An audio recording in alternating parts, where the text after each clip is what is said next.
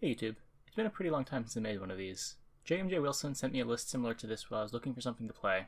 I swapped the muzzle he was running for Sihil and climbed up to GM with it for 4100. This was a game I played during the climb against the Ninth and Scorch deck. Looking at my hand here, it's uh, pretty bronze. I want to kick the Skirmisher so I don't end up bricking a Barclay. It's a consideration to kick the Recon just for Blacklist value before kicking the second Skirmisher, but the Blacklist is fairly minimal, and having the Recon to dig for BMEs round 1 feels a little bit better. I kick the last dwarf and end up with a hand that is uh, just as uh, bronze as it started. A few options here. I could spy, but that doesn't really get me anywhere. If my opponent wants to get out of the round, he can just pass on the spy to get out. I'm generally not too threatened by Eithne's tempo, so I'd rather wait and see exactly what variant they are before committing my spy. After we commit to not playing spy, BME is the only play that really makes any sense. Merc into Merc into Archer is a pretty strong tell he's a Scorch deck. All of our sudden, our Yaevinn is looking to be way more exciting in round 2 or 3 than it would in round 1. He'll never be able to surprise or overtake me in round 1 on this deck, so I can just keep developing my graveyard. I have two main options here. Try and force my opponent out of the round with bigger tempo plays, then use Yaevinn in round 2 to either 2 him or get card advantage. The other option is to develop my graveyard and get out of the round quickly. Going into a really long round 3 against a Scorch deck is always a bit of a headache, and given that I have plenty of mediocre bronze cards I wouldn't mind getting out of my hand this round, I choose option 1. We both pulled our Aelirenns, and I just continue playing mediocre cards out.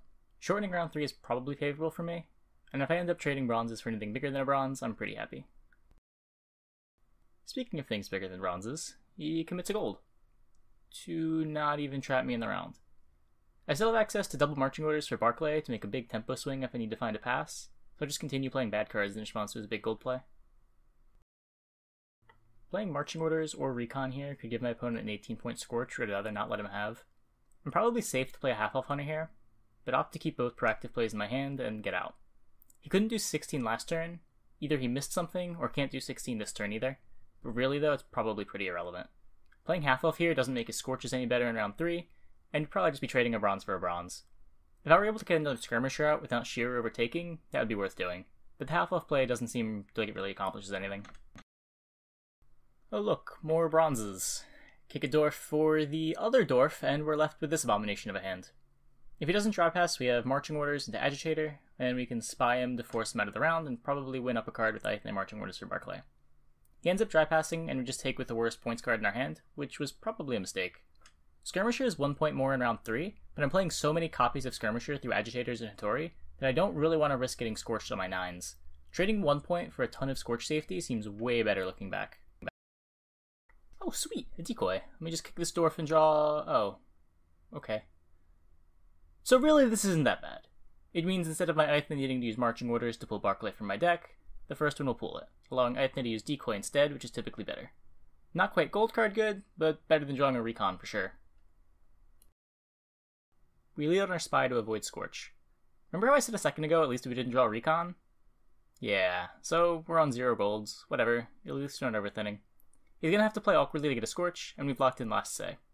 I'm not sure if I can say I feel ahead here, but I don't feel terrible about this position.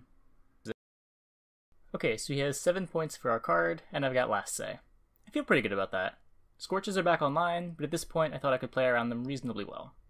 We'll see where that line of thought goes wrong in a moment. Leading on the Skirmisher instead of half elf, throw the 12 point Scorch.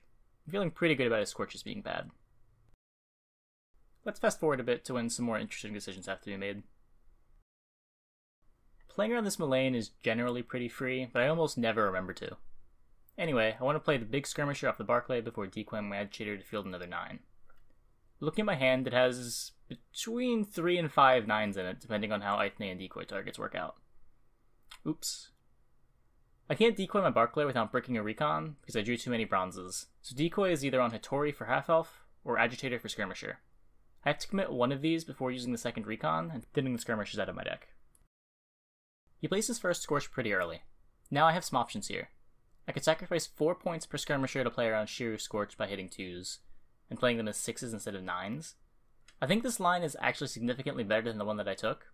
Even if he guns Schirru on the second skirmisher here, like I want him to, this costs me 9 extra points immediately just because the second unit got scorched.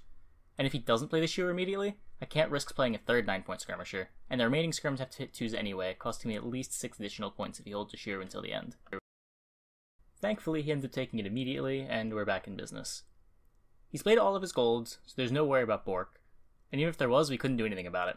So we just take a pretty simple line to maximize the number of points we're playing, and hope that it's enough. Speaking of that simple line, Rezzing Agitator is an additional point over Rezzing the Half-Elf, and I'm not actually sure how I missed this in-game.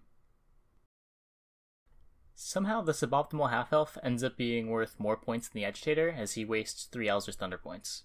I'm guessing he took my misplay as a signal that I was trying to get a Schirru.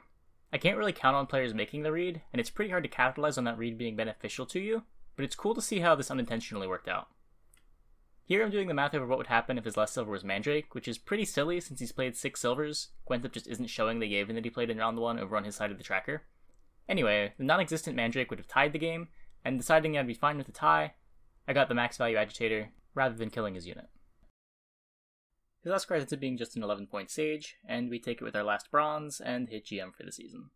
Turns out, you don't need gold to speed Eithne Control. If you enjoyed this content, be sure to like the video and leave a comment below. Until next time.